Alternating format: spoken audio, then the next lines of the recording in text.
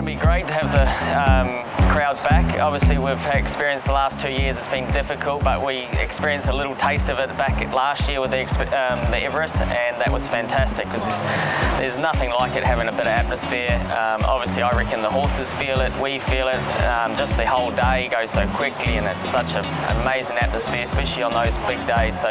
Uh, the prize money in Sydney is phenomenal. Um, it's where it's where it's all at. It's where everybody wants to be. Um, you know, all the best horses are lining up in these races.